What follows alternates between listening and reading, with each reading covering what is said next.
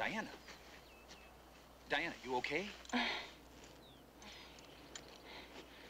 Yeah, I, I guess I'm all right. Thank goodness you got me out of that tree. What tree? That tree. You're kidding. Uh-uh. I must have done that out of reflex and then passed out myself. How'd I do that? I don't know, but three cheers for your reflexes. Oh. Probably the only lucky thing that ever happened in the Devil's Triangle. yeah, well, I think that we better get rid of these parachutes just in case. Yeah, good idea. Hey, come on, soup's on. Not yet. I catch 'em. You're supposed to cook 'em. That's the deal. I know, but the parachute string and your penknife aren't exactly a seamstress's delight.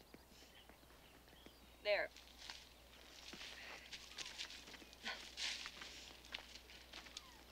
The jungle look. Hey, not bad.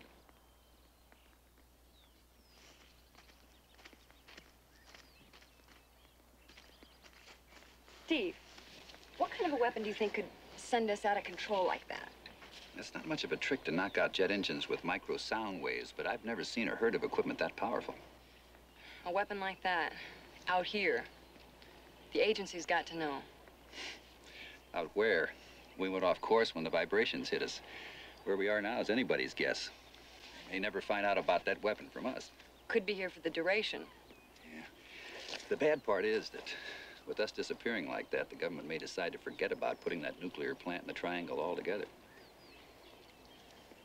Hey, come on, let's go. I'm famished. Wait a minute. Your country's armament supremacy is threatened by an international criminal, and you're hungry. We gotta eat. My thinking exactly. I'm starving.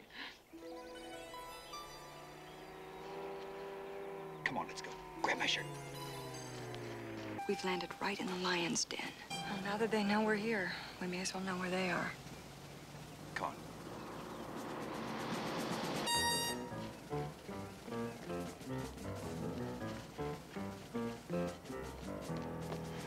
Radio, radar, get a load of that.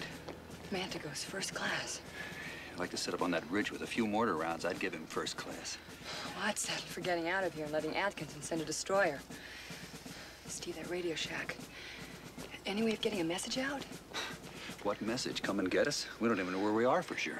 Well, maybe you could tie down the key. That'd send out a constant signal. Maybe our people would pick it up. It's a good idea. Maybe I can do something with the wires. Okay. I'll go scout the beach. There's got to be a boat around, right? All right, be careful. Okay.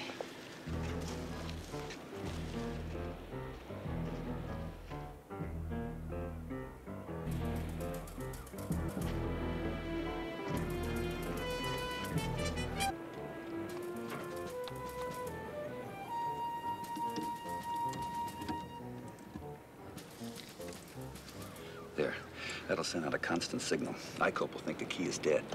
Should be a long time before they discover otherwise. By which time we'll be long gone. Steve, I located a boat. Our ticket out of here. All right.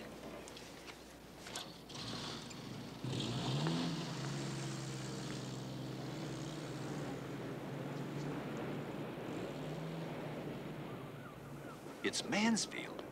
The young Navy pilot from the transmission we heard. Steve, he's he's alive. They're treating him like an animal.